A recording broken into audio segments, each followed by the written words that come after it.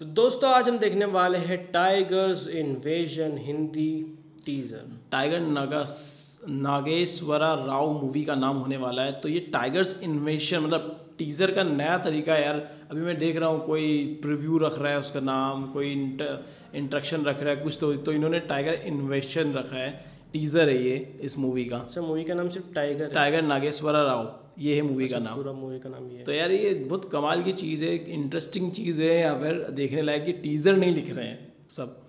सही है ना? चलो तो शुरू करते हैं। भाई ये बहुत मल्टीपल लैंग्वेज में रिलीज़ होने वाली है तो आप लोग जिस लैंग्वेज में प्रेफर करते हो आप उस लैंग्वेज में देख सकते हो। हम हिंदी में देखना पसंद करेंगे।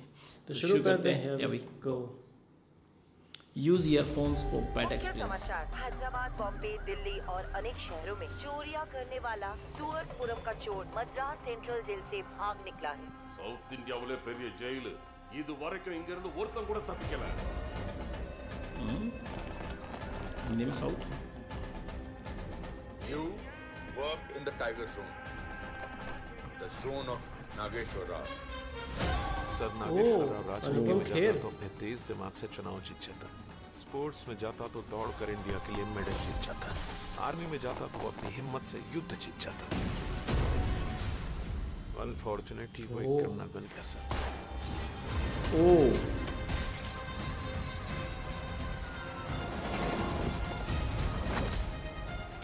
शेर बाघ जैसे जानवर के विजुअल्स क्या शानदार लग रहे लेकिन हैं उसने आठ साल में ही खून पीना शुरू कर दिया।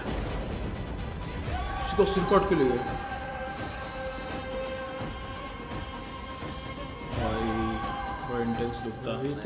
भाई ओमकार सिंह यादव पियोला जैसे लोगों को देखा है। उससे भी बड़ा डाकू है क्या ये?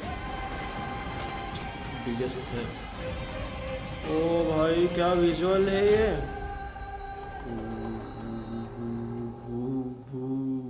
विजुअल्स तो इसके सच में नेक्स्ट लेवल लगे और बहुत खूबसूरत लगे यार। इनका अगर अगर हम सीन देखें तो ऐसा लग रहा है कि इन्होंने ट्रेन की जो खिड़की होती है ना ट्रेन की उसकी बाहर का फ़ोटो है और शेर वाला लुक आ रहा है टाइगर वाला। शेर जैसा दिखा रहा है। और मतलब इनको लुटेरा बताया है biggest thief biggest India's biggest thief बताया है। भाई हीरो अगर चोर बन जाए तो फिर तो क्या ही मज़े होते हैं। एंटी हीरो मूवी जो रहती है ना मज़ा आता है कमाल की होती है भाई। अगर बात करूँ इस मूवी की तो यहाँ पर हमें एक भी डायलॉग तो खैर देखने को नहीं मिला लेकिन जो हाइप बन रही है यहाँ पर कैरेक्टर की आप समझ लो ये टीज़र बेसिकली उस कैरेक्टर की हाइप बनाने के लिए आया है। डेफिनेटली और जो हाइप बनी है इससे नेक्स्ट लेवल मतलब जिस उम्र में बच्चे दूध पीते हैं उसमें वो खून पीता डायलॉग समझ रहे हो? वो डायलॉग अपने आप में और गर्दन काटा हुआ इंसान की गर्दन काट के लेके आ गया हाथ में नौ साल की उम्र में। दट मतलब कितना खूंखा- खूंखार है वो बंदा। वो डायलॉग हाँ शेर वाला के शेर आठ साल तक दूध पीता है। और वो नौ साल पीने लगे थे। खून पी रहा था। तो यार ये शेर से भी तगड़ा इंसान है।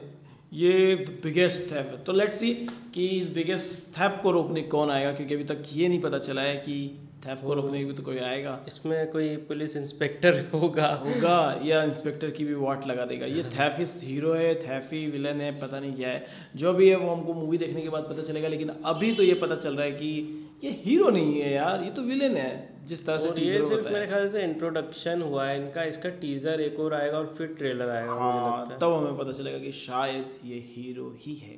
तो लेट्स सी क्या होता है। वैसे एंटी मूवी थेफ मूवी में भी मैक्सिमम मूवीज़ में यही होता है आखिरी में हीरो हीरो ही निकलता है। तो लेट्स सी क्या होता है। आप लोगों को कैसा लगा? हमारे रिएक्शन कमेंट करके ज़रूर बताना अच्छा लगा तो प्लीज़ यार लाइक करो शेयर करो चैनल को सब्सक्राइब करो। मिलते हैं आप लोगों से अगले वीडियो में। Till then make love not